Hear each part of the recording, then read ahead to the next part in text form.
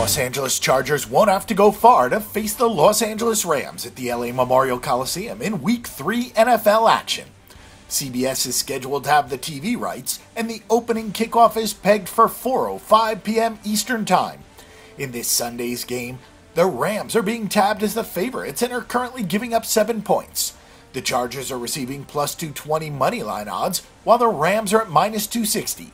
The odds makers have placed the over under on the game at 48 points, and the game's betting lines have not moved since they've opened. The LA Chargers are 1 1 both straight up and against the spread, and the teams posted an over under record of 2 0 on the totals. They are coming off of a resounding 31 20 win over Buffalo last week. Philip Rivers completed 23 passes on 27 attempts for 256 yards and 3 touchdowns.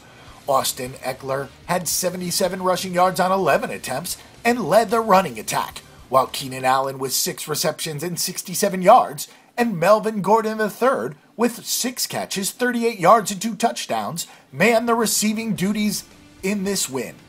The Los Angeles Rams have gained two units this season with the team's 2 0 record both straight up and against the spread.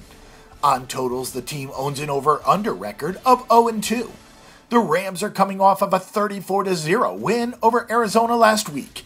The defense was outstanding in the victory, holding the Cardinals to only 90 passing yards and 54 yards on the ground.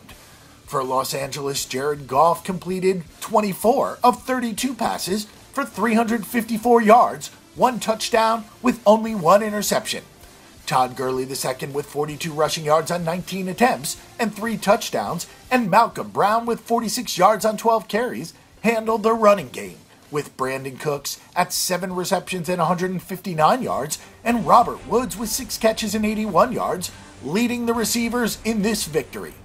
The Los Angeles Chargers should be a much more tenacious opponent than the Cardinals were last week for the Rams. But with the Rams on a roll and last week's shutout, we're going to take the LA Rams to win this one straight up. However, with a big seven points on the line, the best bet is to take the Chargers against the spread and also play the over 48 points on the total.